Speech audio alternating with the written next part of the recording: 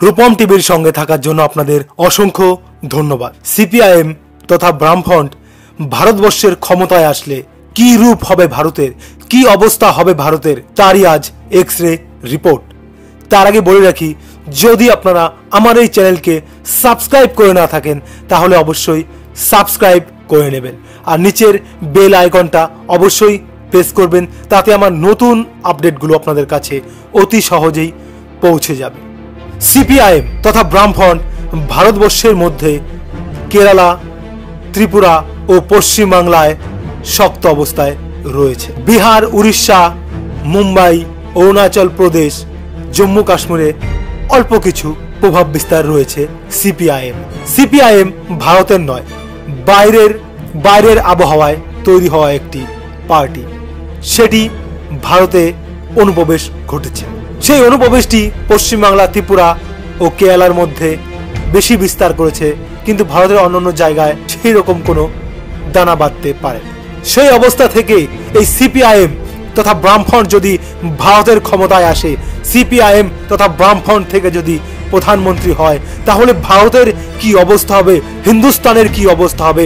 তারই আজ X ray report হিন্দুস্তানে অর্থাৎ ভারতে যদি সিপিআইএম ও বামফ্রন্ট ক্ষমতায় আসে, তার যা যা প্রভাব হবে ঠিক এই রকম। তিরাঙ্গা, অর্থাৎ ভারতের জাতীয় পতাকা, যে আকৃতি, যে রং রয়েছে, সেখানে কিন্তু সিপিআইএম এর লাল রং উঠে আসতে পারে। অর্থাৎ লাল পতাকা, অর্থাৎ লাল পতাকা উঠতে পারে লাল কেল্লার ওপর। ভারতের সংবিধানের মাথার ওপর লাল পতাকা উঠতে পারে। সিপিআইএম তথা বামফ্রন্ট ভারতের ক্ষমতায় আসলে ভারতের মহান যেসব পুরুষ রয়েছে, নেতাজি সুভাষচন্দ্র বোস, মহাত্মা গান্ধী, আম্বেদকার, এরা পিছনে পড়ে গিয়ে উঠে আসতে পারে কার্ল মার্কস লেলিন চে এইসব বিদেশি লিডাররা। সিপিআইএম তথা ব্রাহ্মণ ক্ষমতায় আসলে China border Kashmir Pakistan border উন্মোচন হয়ে যাবে। সেখান দিয়ে উগ্রপন্থীদের আনা জানা হবে জলের মতো সহজ। ফলে ভারতের পক্ষে কাশ্মীর ও অরুণাচল প্রদেশ কন্ট্রোল করা ক্ষমতার বাইরে হয়ে যাবে। সিপিআইএম তথা বামফ্রন্ট ক্ষমতায় আসলে মিছিল, মিটিং, বন্ধ হরতাল এইসব লেগেই থাকবে।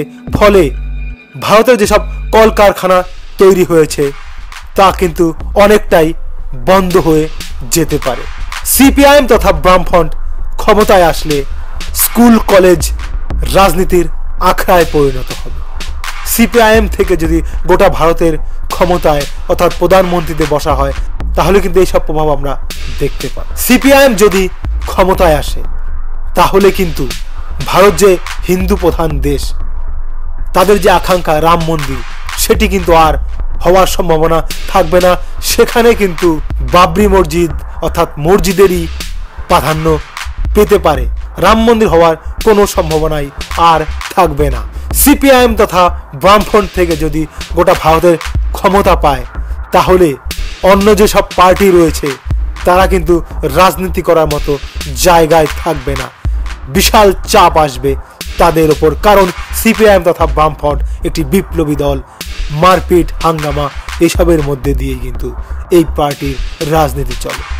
সর্বশেষ যে ভয়ঙ্কর পরিস্থিতি হবে, তা হলো গোটা দেশে সিপিআইএম তথা বামফ্রন্ট ক্ষমতায় আসলে গোটা দেশে কিন্তু মাওবাদী আক্রমণ উঠে আসবে।